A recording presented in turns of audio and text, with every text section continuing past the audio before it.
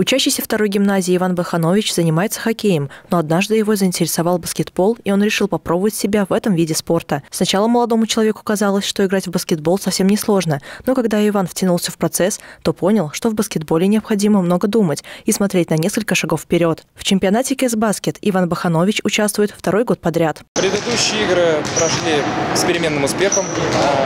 Удалось нам победить единожды, а, дважды мы уступили.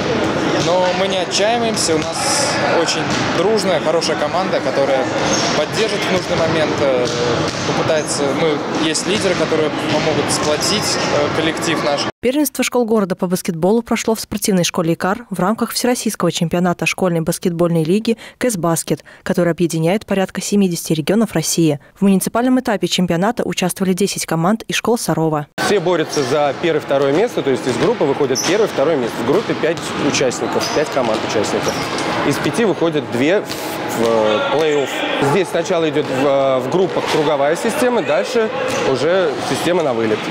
Две команды выходят из одной группы, две команды из другой выходят и играют на вылет. Игра между гимназией номер два и пятой школой была напряженной. Несмотря на то, что гимназия лидировала, команда школы номер пять уверенно догоняла соперника, но обойти гимназистов им все-таки не удалось. Игра закончилась со счетом 38-20. Следующими на баскетбольное поле вышли команды третьего лицея и десятой школы. Мы играем за третью школу. Э, три победы пока из трех.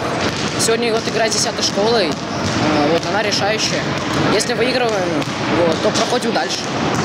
И завтра, получается, игры у нас э, уже из группы. Получается, с 11 школы завтра играем.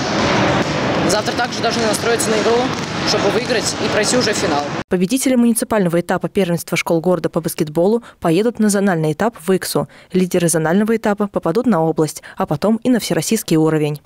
Светлана Юрунова, Евгений Шикарев, Сергей Рябов. Служба новостей Саров, 24.